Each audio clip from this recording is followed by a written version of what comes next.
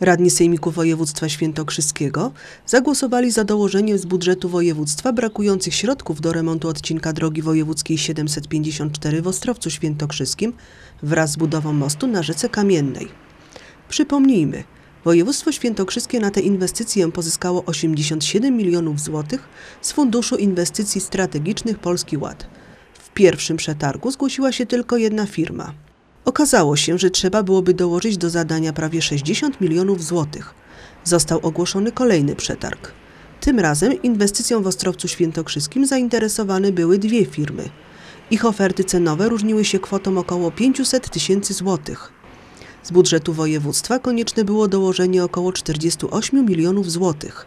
Za wsparciem przebudowy blisko 3-kilometrowego odcinka drogi wojewódzkiej 754 wraz z budową mostu na rzece Kamiennej zagłosowało 26 radnych.